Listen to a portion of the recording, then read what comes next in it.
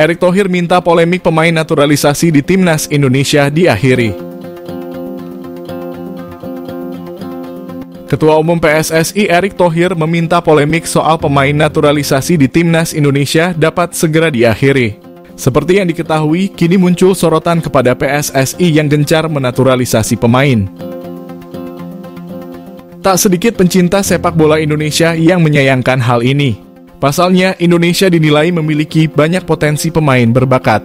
Menanggapi apa yang terjadi, Erick Thohir meminta agar masyarakat lebih terbuka. Program naturalisasi dilakukan demi memperkuat timnas Indonesia. Selain itu, pemain-pemain tersebut juga memiliki hak untuk membela skuad Garuda. Sebagai informasi, mayoritas pemain yang dinaturalisasi PSSI memang memiliki darah atau keturunan Indonesia. Lebih lanjut, Erick Thohir menegaskan bahwa naturalisasi sejatinya bukan fokus utama PSSI. Menurutnya, naturalisasi dan pembinaan harus berjalan beriringan. Sementara itu, PSSI belum lama ini dikabarkan bakal kembali melakukan naturalisasi pemain asal Belanda, J. Itzes. Program naturalisasi J. Itzes diharapkan bisa segera selesai. Pasalnya, sang pemain diproyeksikan dapat membela timnas Indonesia di Piala Asia 2024 pada awal tahun depan.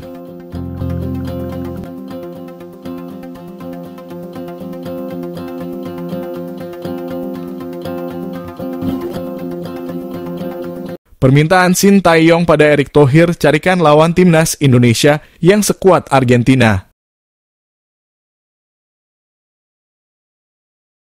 Pelatih Timnas Indonesia Shin Taeyong punya permintaan khusus pada Ketua PSSI, Erick Thohir.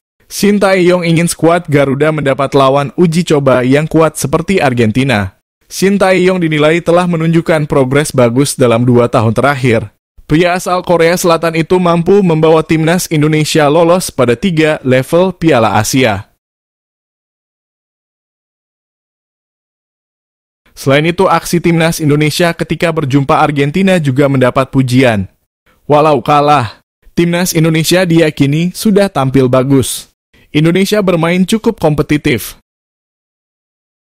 Ketika PSSI mengumumkan bahwa Argentina akan jadi lawan timnas Indonesia, Shin Tae-yong mengaku kaget. Sebab dia melihat Indonesia belum pernah mendapat lawan sekuat Argentina pada masa-masa sebelumnya. Shin Tae-yong berharap agar Argentina bukan jadi lawan kuat terakhir untuk timnas Argentina. Shin meminta kepada PSSI untuk mencari lawan kuat lain ke depannya. Selain meminta Erick Thohir mencarikan lawan untuk timnas Indonesia, Shin Tae-yong punya satu permintaan lagi. Dia ingin PSSI lebih memperhatikan pembinaan usia dini.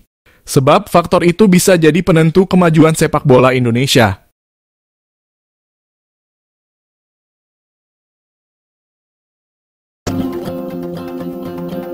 Mengulas taktik Ciamik STY di dua laga kualifikasi Piala Asia U23 2024. Cermat membaca skema permainan didukung skill abroad.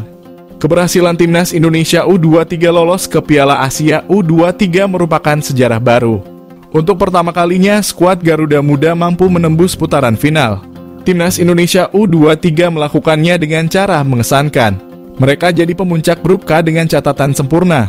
Cina Taipei U23 berhasil dihajar 9 gol tanpa balas di laga perdana.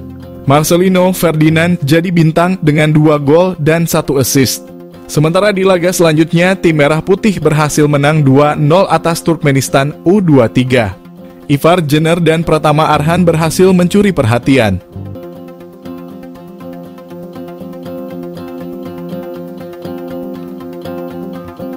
Para penggawa jelas layak mendapat apresiasi tinggi.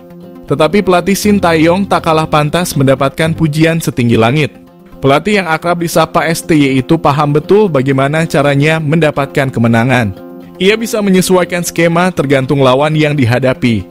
Saat hadapi Cina Taipei U23, mereka bermain dengan pola 4-4-4-2. Ramadan Sananta dan Rafael Struich diduetkan di lini depan.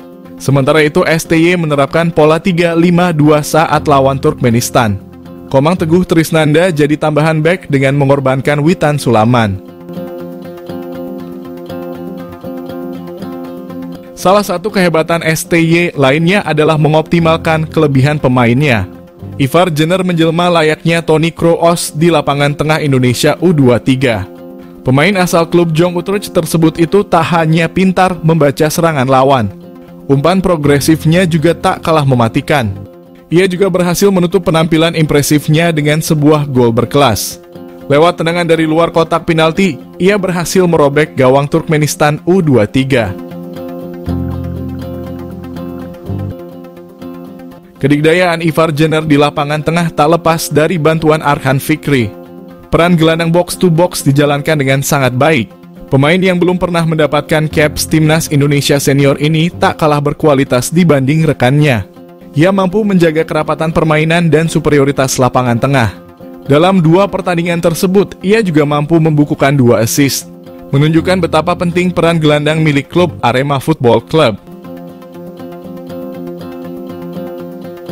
Untuk melengkapi lapangan tengah, STY menambahkan Marcelino Ferdinand ke dalam skemanya. Khusus Marcelino ia diberikan keleluasaan lebih.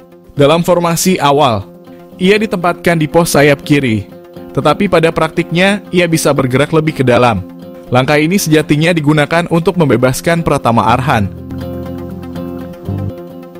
Kemampuan menyerang pemain asal Tokyo Verde itu juga jadi alasan kehebatan Indonesia U23.